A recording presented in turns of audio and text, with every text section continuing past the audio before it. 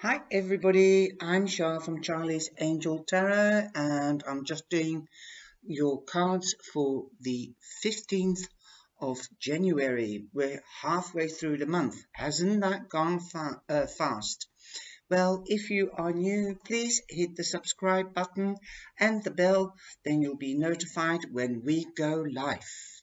And of course, um, I'll be going live tonight. There weren't eh, there weren't so many people yesterday as I went live at lunchtime. I've split a tarot deck and I'm going to pull a card for each sign. You can choose one or two or both. So here we go. And Capricorn, you've got the Five of Pentacles. That means that you might feel left out. You might feel left, left out of a group or um, family. So what is the matter with you? Are you wounded? Did somebody wound you? Um, are you too much independent? So somebody has left you out. Do you have to take care of something? Or somebody, are you not well that you have to um, uh, take time out so that you're not together with people?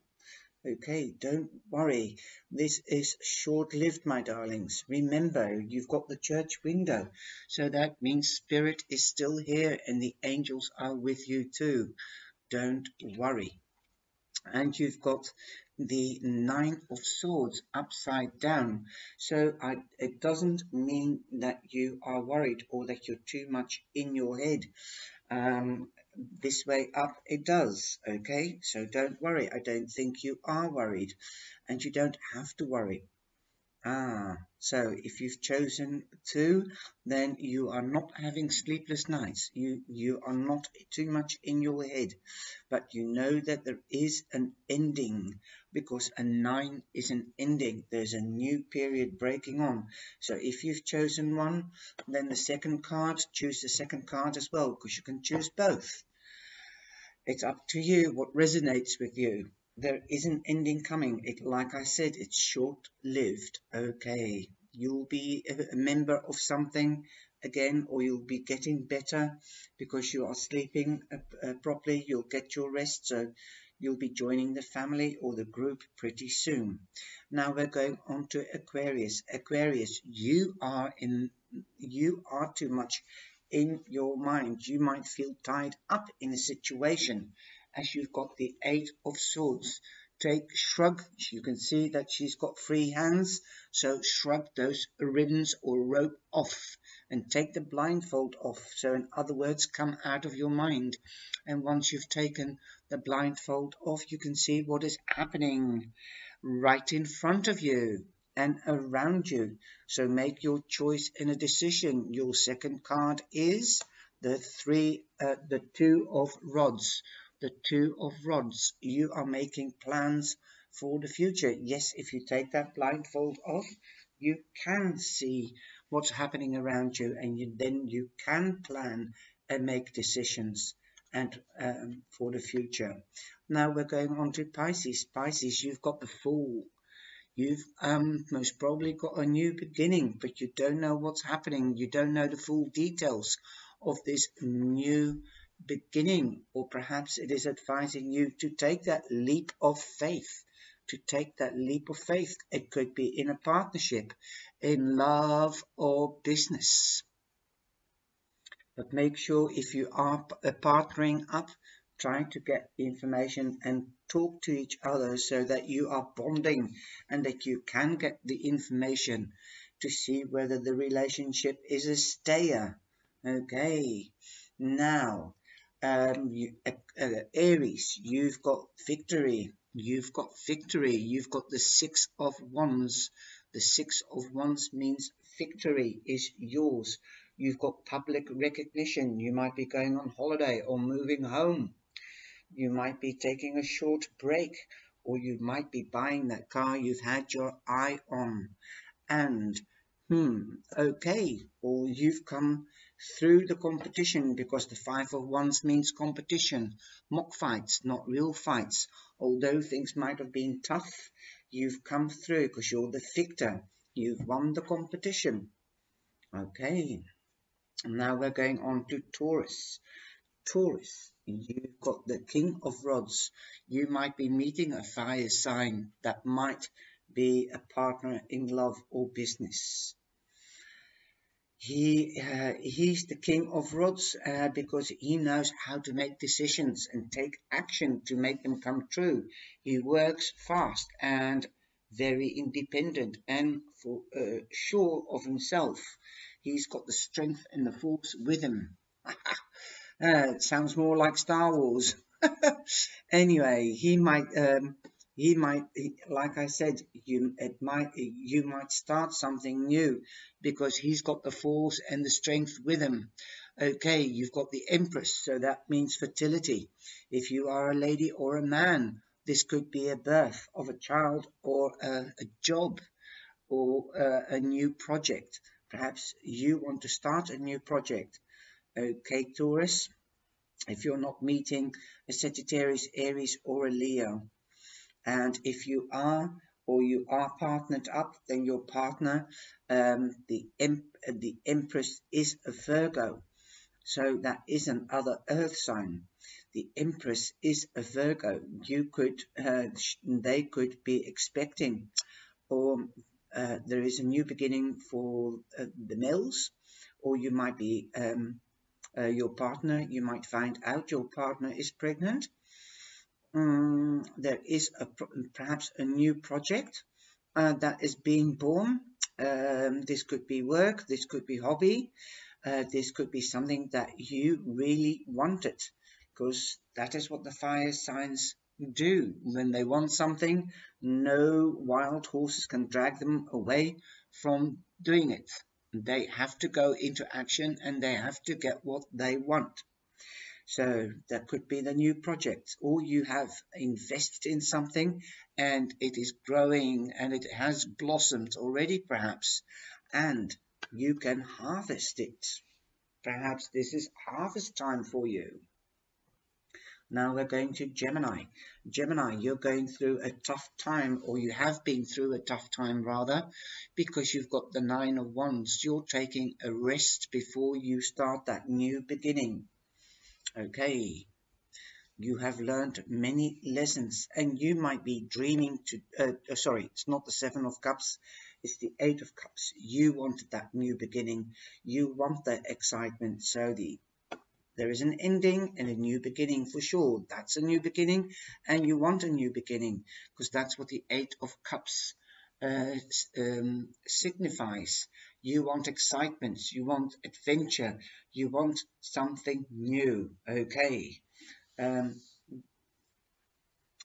with this card, I always say um, that's great, but make sure that you know what you want um, and go for it.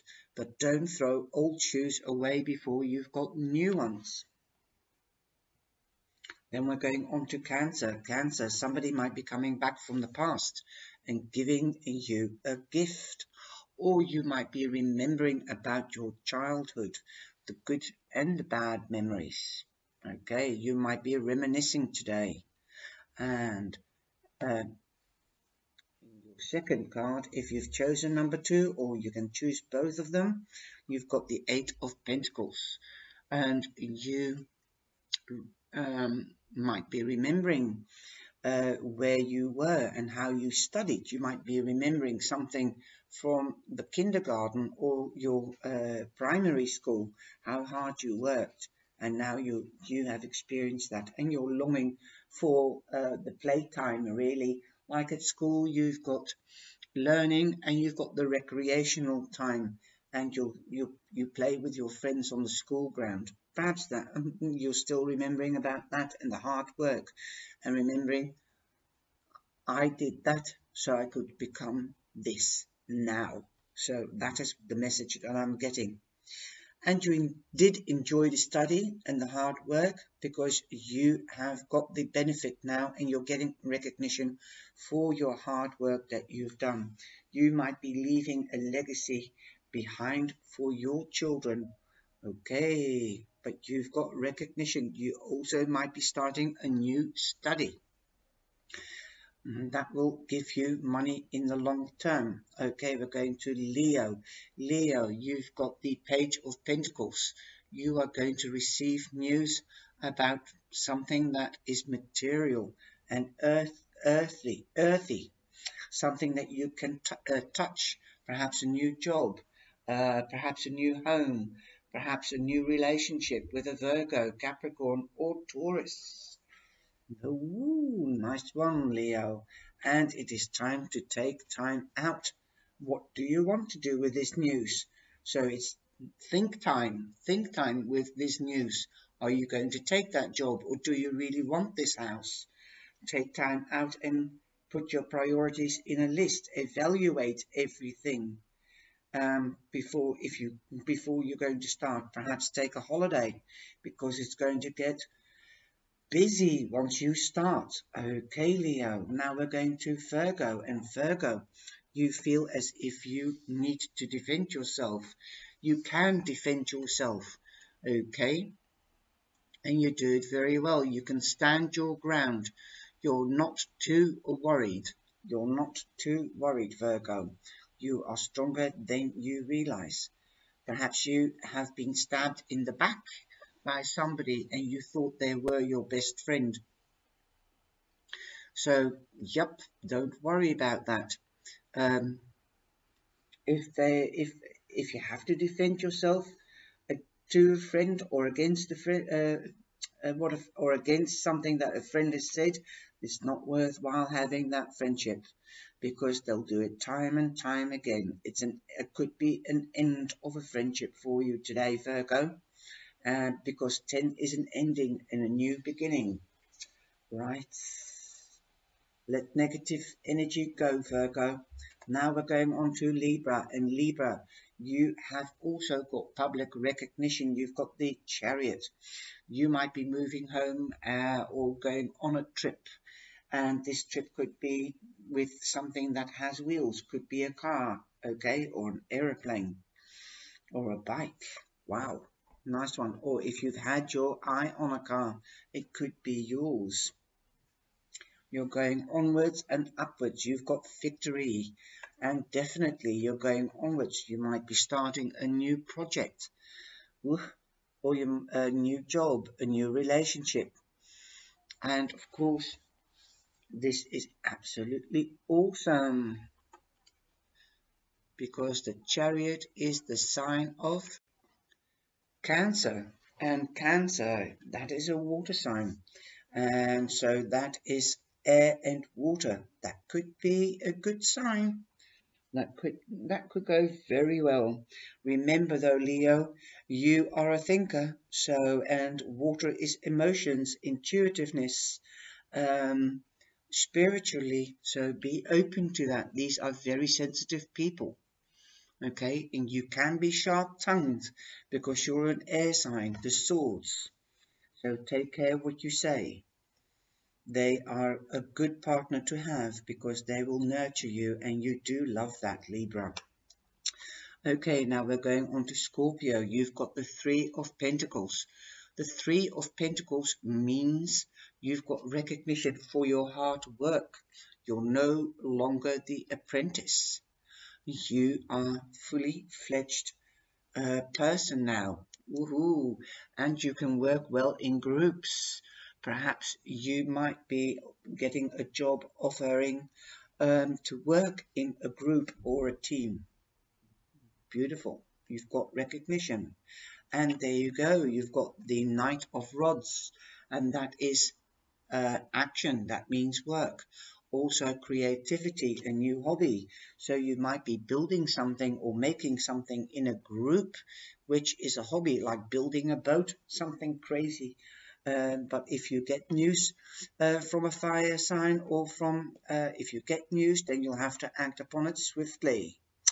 Uh, you might be get news from um, a Sagittarius, Aries, or a Leo. Okie dokie, now we're going on to Sagittarius themselves and Seji, the ending is here. You're nearly home. Okay, so don't worry. There is a new beginning for yourself. You've been uh, through a difficult period and you are in your element because you've got the Queen of Rods. So you might be meeting a Sagittarius, Aries or a Leo, but you're definitely going for what you want. This lady is determined and she knows what she wants and she'll go for it. And you can see she will not, she can be quite sweet and purry and soft, but she can also be the roaring lion, although it's depicted by a cat.